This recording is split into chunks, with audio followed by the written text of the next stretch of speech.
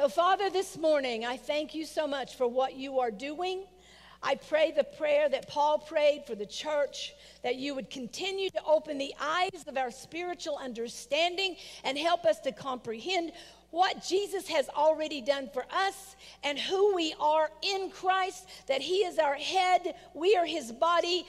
Everything of the enemy is under our feet. Jesus is the victor, and we walk in His victory, Lord. We thank you for opening our eyes to comprehend that fully, not with just our mind, but with our knower, down deep in our knower, that we can continue to walk in the victory that Jesus died to give us. And Father, right now, I thank you for the anointing of your Holy Spirit upon us today. And those that are watching online, thank you for your anointing to be able to deliver your word and to receive your word and for great fruit to come from it in Jesus' name. And everybody said, Amen, amen and amen. This morning, I want to talk to you about why we exist as a church. If somebody asks you that, why does Radiant Church exist as a church? Would you be able to articulate to them clearly why you come here every Sunday faithfully to participate in what God is doing in this house? I want to talk to you a little bit about that. Because Jesus is the head of the church, we are his body, and he is our model. The Son of God put on humanity, came, humbled himself, laid aside his divine prerogatives, was empowered by the Holy Spirit to be a, a model or example for what the people of God, the church, Jesus came to establish the church. We are his body. And he gave us a model so that we can look at the model, the Son of God, and realize this is what we're supposed to do and what we're supposed to be like. Amen? For, so, for too long, the evangelical church has looked at the, the epistles of Paul and the letters in the New Testament, and we've derived our theology from Paul. Hermeneutics has taught us, well, you know what? You can't make use theo- make theology out of historical genre or historical books. So what we have done is relegated the historical books of the Gospels and Acts. This is the evangelical church relegated that to antiquity. And it doesn't apply to us today. So we have stripped Jesus out of our Christianity by and large. What he did was hung on the cross. We trust in him for our salvation. But all the stuff that Jesus did, largely the evangelical church says that doesn't apply to us today. Is it true?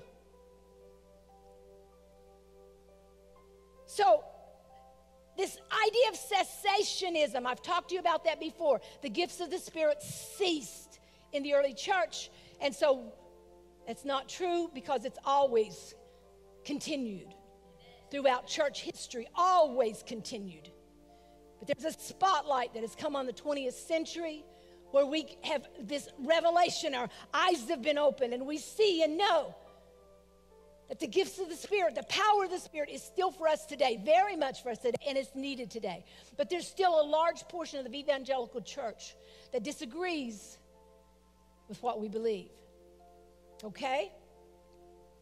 I want to take you back to Jesus because our job is to do what Jesus came and died on the cross. He died, descended into hell, took the keys of death, hell, and the grave. He rose up and ascended back to the Father, and he sat down and he said, My work is finished.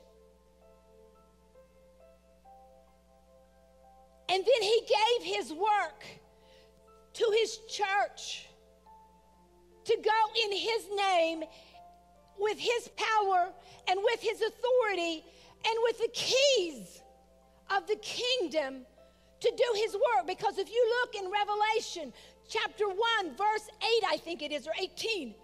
Jesus, the glorified Jesus, is standing there and saying, Behold, I hold the keys of death and hell.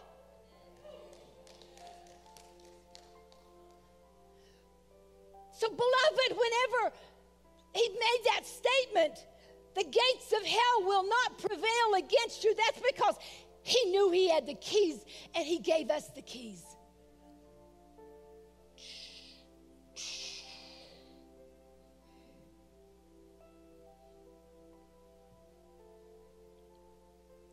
So, what I'm going to do this morning, oh, and I, we're going to do it real fast. Remember just about two weeks ago, I took you through Mark. Boom, boom, boom, boom, boom, boom, boom, boom. Remember that? What I'm going to do this morning is I'm going to take you quickly through the book of Luke, and I'm going to quickly highlight what Jesus did. And I hope that by the end of this message, you are going to say, that's why we exist as a church. Are you ready? Whenever Jesus, his, his baptism in the Jordan River, the Holy Spirit came upon him, that was Jesus' baptism in the Holy Spirit. First model baptism of the Holy Spirit. He went out of that. The Spirit of God came up on him. The Spirit drove him into the wilderness. He did face to face combat with, with Satan. He said the battle was with Satan. Satan is a real foe, he's a real enemy of God. But beloved, just like that song said, he is not his he is not God's equal. Satan is a created being. He's a rebellious fallen archangel. And there we are not, this is not dualism. This is not God against equal partner Satan. It is God Almighty who has crushed Satan under his feet. Don't ever forget that. Yes, Satan is powerful, but Jesus Christ defeated him. Hallelujah. And Jesus, after he kicked Satan's butt in the wilderness,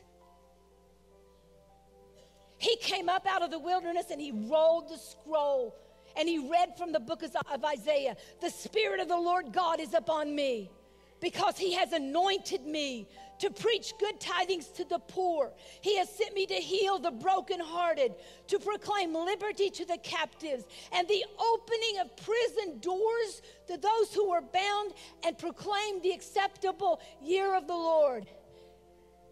This is all spiritual. We're not talking about going downtown Lincoln, Nebraska and opening the prison doors of the jail cells. We're talking about those who have been taken prisoners of war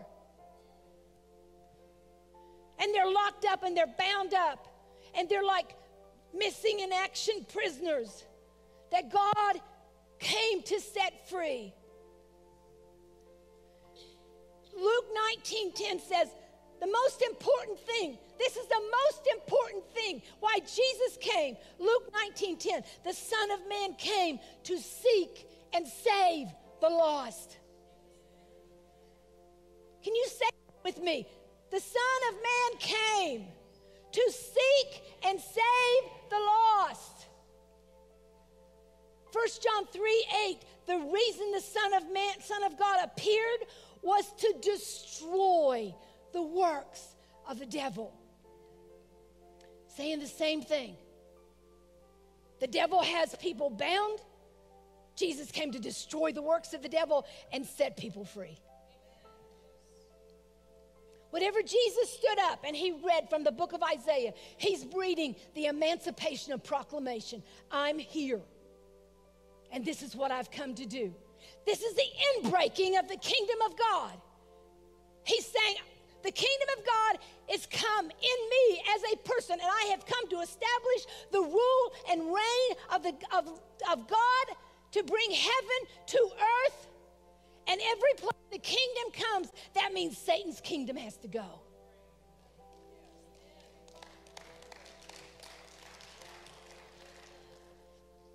After he stands up and he does that, after he speaks that, he goes, Luke chapter 4, he walks into the synagogue, and there's a man in the synagogue. In the synagogue, there's a man who is possessed or has a demon. The man, it says, has an evil spirit. And the demon cried out, and Jesus rebuked the spirit and said, Be quiet. And he commanded the demon to come out. And all the people, it says, they were amazed and said to each other, What words are these? With authority and with power, he commands unclean spirits and they come out. Now, that word authority is exousia. It means I have the right, the legal right, and power is dunamis. I not only have the legal right, but I have the power to back it up. For example, if an enemy attacked Hawaii, United States, that may not be part of the continental United States, but is one of the states of the United States of America. Somebody attacks Hawaii. We have the legal right to go and protect that state and get that invasion out of there. And we have the power and the might to do it. That's exactly what this means. Jesus has been had power and he had authority to cast that demon out. You move on. Luke chapter 4, still Luke, Luke chapter 4. Jesus went to Peter's mother Peter's mother-in-law's house. He walks in, his mother-in-law has a fever. Jesus walks over and it says he rebuked the fever. And he drove it out. Now that word rebuke is ekbalo. That word means to drive out. And it's the exact same word in the Greek Septuagint in the Old Testament translated into the Greek. That word drive out is the same word that whenever Jesus God sent the Israelites into Canaan, he said, "Drive out the enemy." Ekbalo, cast it out. Get rid of it. Take over. So that word right there, ekbalo, Jesus went in and he addressed that spirit that was giving Peter's mother in law a fever, cast it out, and she got up. These two encounters, the man in the synagogue, Peter's mother in law, do you see that there's demonic activity there? Divine healing and demonic activity are intertwined. Sometimes before you can get somebody healed, you have to get them delivered. We're going to talk about that more in the future. I don't have time to get into it today. I just want to throw that out there for you to put it in your pipe and start smoking it and thinking about it.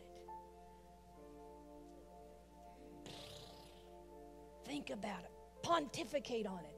Luke chapter 4, verse 40, it says, After he did these two things, in the synagogue, Peter's mother in law cast out those demons. It says, and when the sun was setting, all those who had any kind of sickness with various diseases were brought to him, and he laid hands on every one of them and healed them all.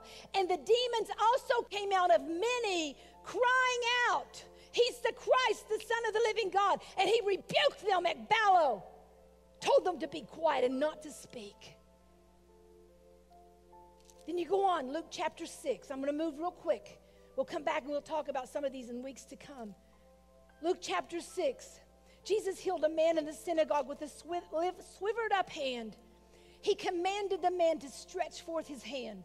The man responded in faith and he stretched forth his hand and he was healed that day. And the religious people got upset with Jesus for healing a sick man on the Sabbath day. Beloved, there's still religious people today that will get upset in a church service if Jesus shows up and start healing and delivering people. That's an amen. Oh my. Luke 6 17. And it says, And multitude of people came to hear Jesus and be healed of their diseases.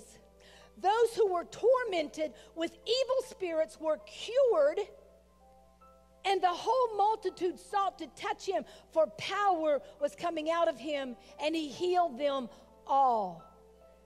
Can you see healing and deliverance side by side continuously through the Gospels? Luke 7 1 through 10. Jesus healed the centurion servant with a word. And then Luke 7 21. This is again combination deliverance and healing. He cured many of the afflictions and infirmities and evil spirits, and to many blind he gave their sight. So he replied to the messenger. This is whenever John the Baptist sent a messenger saying, Are you really the Christ? And Jesus responded, Go back and report to John what you've seen and heard. The blind receive their sight, the lame walk, those who have leprosy are cleansed, the deaf hear, the dead are raised, and the good news proclaimed to the poor. In other words, Jesus is saying, I am doing what I was sent to do. I am doing what I said I was going to do. I am healing and I am delivering those who are bound by the powers of darkness.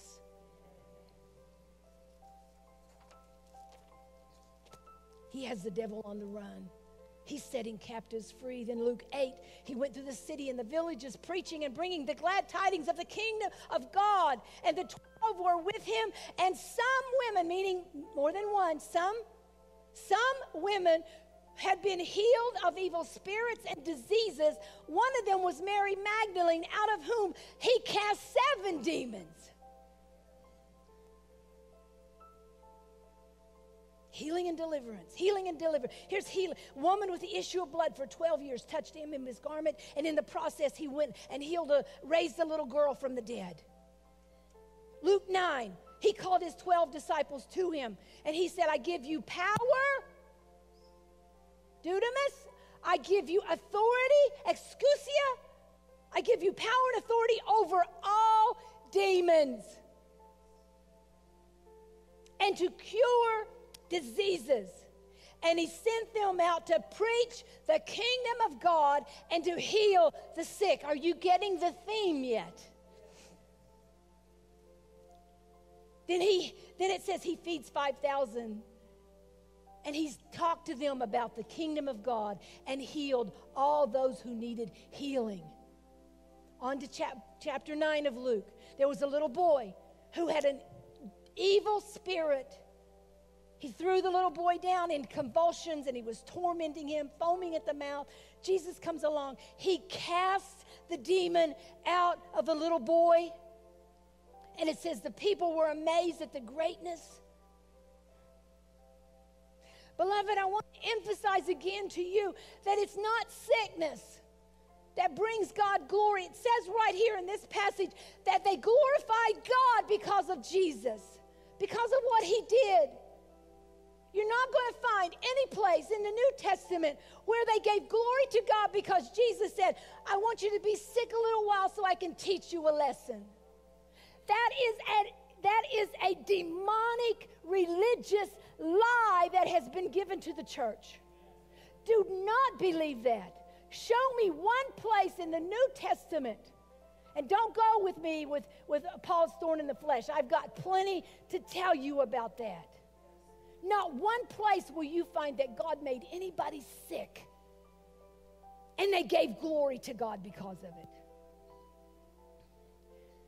Jesus came and opened prison doors, set the captive free. He destroyed the works of the devil, Luke chapter 10. He gave authority to his 72. He said to them, Go, heal the sick, and tell them the kingdom of God is near. And when they came back, they reported they were thrilled and said, Even the demons are subject to us.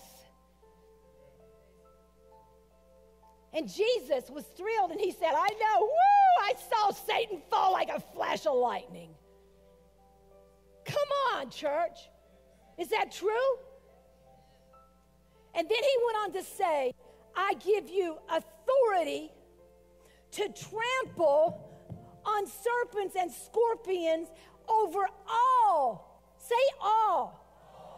That word in the Greek is pas, and it, it, it literally means all. All the power of the enemy. The devil, the enemy of God, only has power that we give him. Because Jesus took all the power, gave it to us, and the only power he has is what we relegate to him. Oh, that's true. Jesus gave us power and authority. Then he goes to the synagogue. Again, he drives a demon out of a man in the synagogue. The man is blind and he's mute. And it says he cast the demon out, and the man could see and speak. So there you have the combination of the man had to be free of the demon before he could be healed in the synagogue. Are you catching this? And then the religious people got upset with Jesus and they said, Oh, he's doing that because he's the son of Beelzebub, he's the prince of demons. How many churches today, if somebody is healed, they say, well, you know, that, that expecting signs and wonders and miracles, that stuff is demonic. Beloved, if God heals somebody and people jump up and down and worship the Lord because they receive their healing from God who is glorified.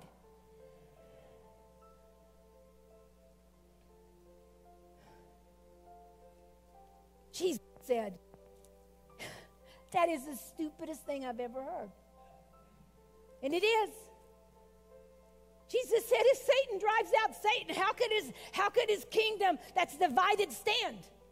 That's the, that's the stupidest thing I've ever heard. Come on, I'm getting real raw and real with you guys today.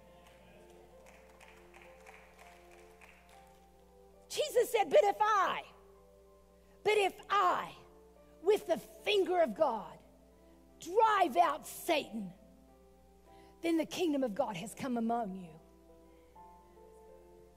Now, those people that he spoke to would have known exactly what he's talking about.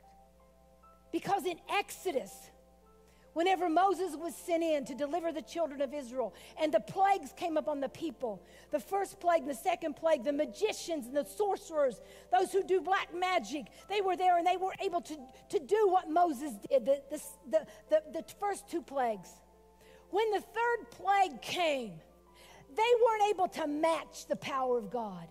And they said, it is, This is the very finger of God.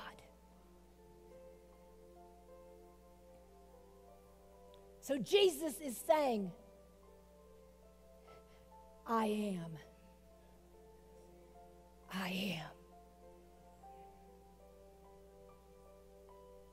I am. Oh, beloved, do you get it? And then in chapter 11 of, of, of, Luke, it says, when Jesus goes on to say, when a strong man, fully armed, guards his palace, his goods are at peace.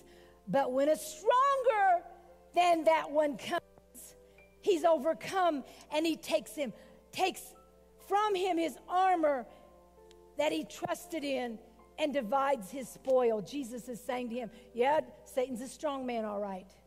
But there's one who has come who is stronger than that strong man, and I have come to take over.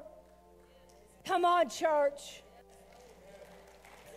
He came to take his armor. You know how I know that? Look at Colossians 2:15. It says Jesus disarmed the powers and authority and he made a public spectacle of them, triumphing over them on the cross.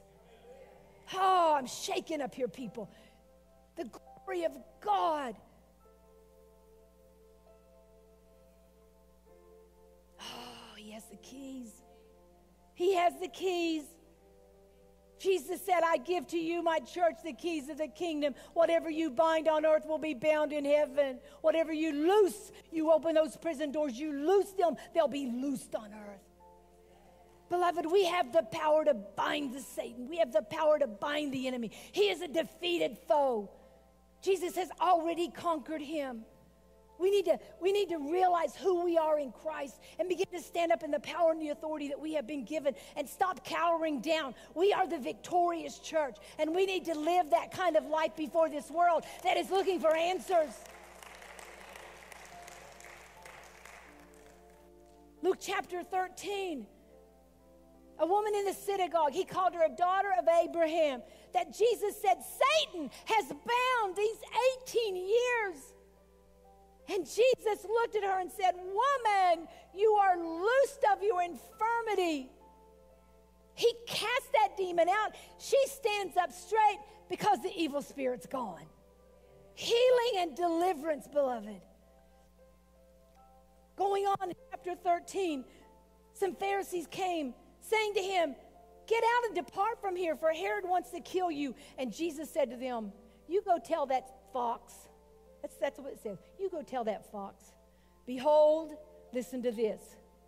I cast out demons and perform cures today, tomorrow, and the third day I shall be perfected.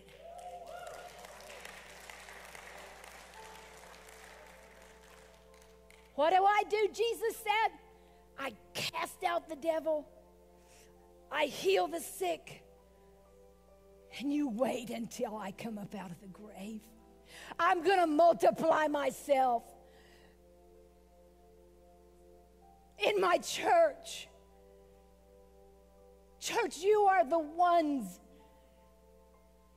that God destined to walk in the earth in this hour, to carry his name, Christ, Christians, the anointed ones, to walk in his power and authority and do what Jesus did. I'm just about done. The rule and reign of God has invaded the kingdom of darkness. The kingdom of God has come the stronger one has come and bound the strong man. He's opened the prison doors so that the captives can be set free. The inbreaking of the kingdom of God came in the person of Jesus Christ. Jesus said, You've seen me, you've seen the Father. That's what they need to say of us, church. You've seen me, you've seen Jesus. And Jesus went and did what he said he was going to do. He raised the dead, made the lame to walk, made shriveled, deformed people well again, killed leprosy, cancer. He de- made deaf ears to open, blind eyes to see, called me- mute tongues to speak, crippled and bent over people to be made straight. And the demons were on the run. Almost done. Luke 15. That's where you see that the lost coin, the lost sheep, and the lost son. Three parables about something that's lost lost sheep, lost coin, lost son. And remember what Jesus said the Son of God came to seek and to save that which is lost. Can you hear his heart here? So, this is my point. I said all of this ran you through the whole book of Luke almost to say this is why we exist as a church, because this is why Jesus came. Are you ready? Are your ears open? You ready to receive? This is why Jesus came to get lost people saved to get bound people free and to get sick people healed. Is that true? And then train people to go do what he was doing. Is that correct? That's why Jesus came. That's what he wants of us as individuals. That's what he wants of us as a church. So, church, I'm going to be emphasizing this from now on. The reason that we exist as a church, the reason that Jesus raised up what he calls the church, his body, The purpose that we have is not to be a country club. It's not to just come in here and have good fellowship, and I love the good fellow. I love you all. I love you all. I'm thankful for every single one of you. But He didn't raise us up to be pew potatoes. He didn't raise us up to be an audience. He raised us up to be an army.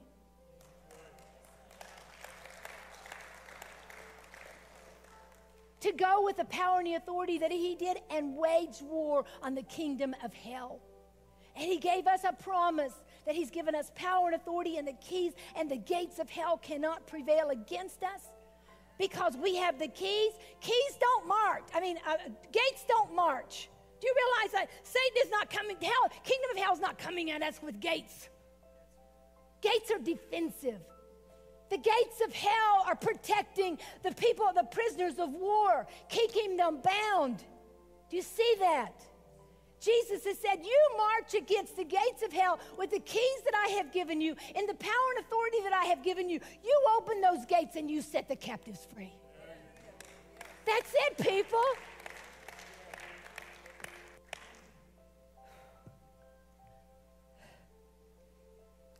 I'm out of breath. Hallelujah. Our purpose get lost people saved, Get bound people free, get sick people healed, and train and equip and immobilize an army to do what Jesus did.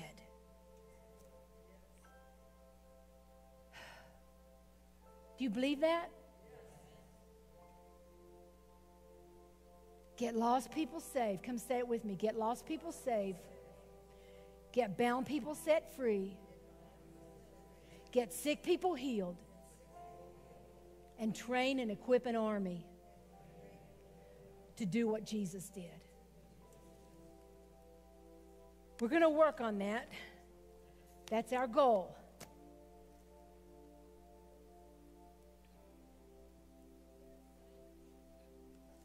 Sign up sheet. Amen. And we're going to work on that. Tell you what, church. We're going to start working on this, putting some things together. We're going to launch some things in the fall. We're going to, we're going to drill down on this. We're going to go after this because this is why we exist. Luke chapter 24. Luke records that on the road to Emmaus, there's two couple disciples are walking with them. Jesus broke bread with them, and it says here, then he opened their minds so they can understand the scriptures. He told them all that was written. The Messiah will suffer, rise, be raised from the dead third day. Repentance, forgiveness of sins will be preached, and in his name, all nations will be saved, beginning with Jerusalem. We are witnesses of these things. I'm going to send you what my Father has promised. You will be clothed with power from on high. Luke, the Gentile physician who wrote the gospel, also wrote the book of Acts. And he picks right up in Acts chapter 1 with empowerment of the church to go do what Jesus did.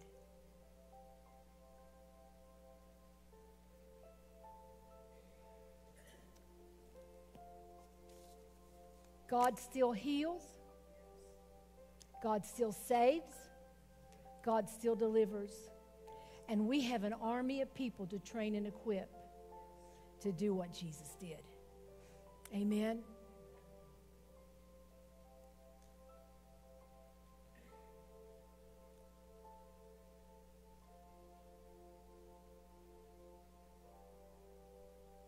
I'd like for you to just make this declaration with me this morning. Jesus stood up and he read out of Isaiah 61. I'm going to read it. I want you to repeat it and repeat it like you mean it, like Jesus stood up and said it on that day. The Spirit of the Lord is upon me. He has anointed me to take good news to the poor,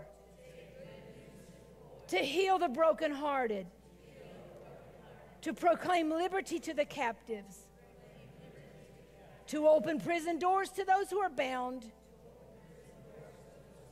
and to proclaim the acceptable year of the Lord. That's his emancipation of proclamation. Beloved, that's our declaration today. There is a world that is hurting and in need of the gospel of Jesus Christ and in need of a people who can set them free from their demons. God wants us to walk in freedom and understand who we are so that we can take the freedom that we have out to the streets.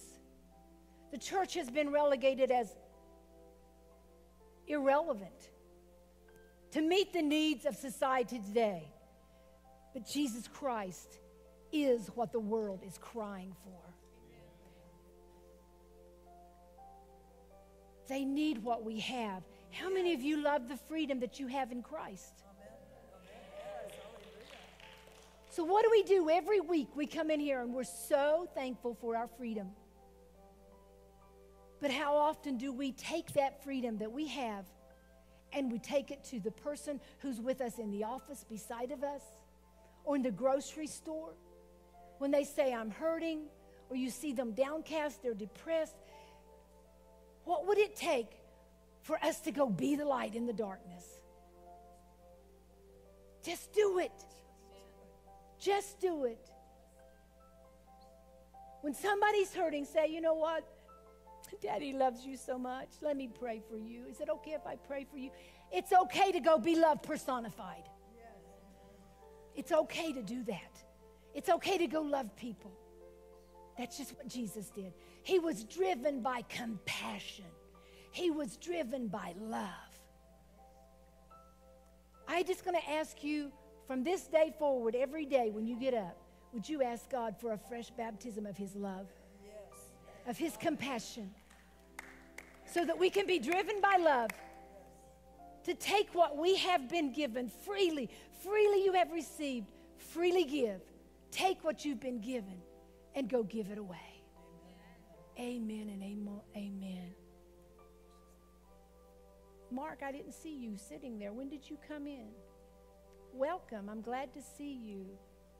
Mark Hegedus and his lovely wife, help. Christy. Christy, I'm sorry, Christy. I, I can forget Bruce's name sometimes. I have to say his name over and over again. Bruce, Bruce. I'm married to Bruce, Bruce, Bruce. Welcome, you guys. So glad you're here. So glad you're here.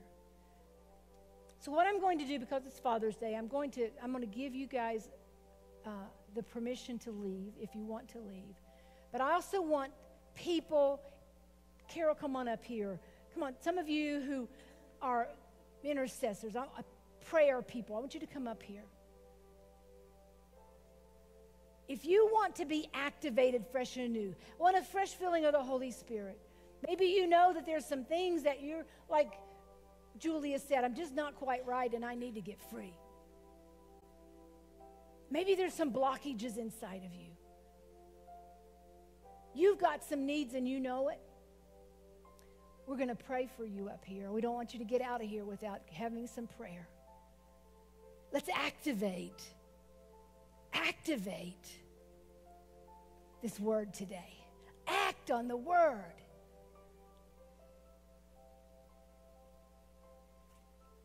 Act on the word. Amen. Come on, come up here, Joe. Come up here. Anybody else? Cindy, come on. I hate to point out people just to, but I want more people up here to pray. Thank you, Julia. So, Father, I pray your blessing over every person today. I declare that the Spirit of the Lord is up on them and that they are anointed with power and authority that has been given to them in the name of Jesus. And Father, I pray that as we begin to pursue this whole understanding that our model is Jesus, and we are to look like Jesus and act like Jesus as we start delving more into the Gospels so that Jesus, you, you become real to us and you start standing up inside of us and we begin to be Jesus with skin on. God, I pray that the eyes of our spiritual understanding would be opened and that we would experientially encounter you and be filled fresh and anew with your vision, with your love, and with your purpose, individually and collectively. And Father, if anybody has a need today, we just pray in Jesus' name and declare that those needs will be met because Jesus has met every need according to his riches and glory by Christ Jesus. And we thank you for it. Amen and amen.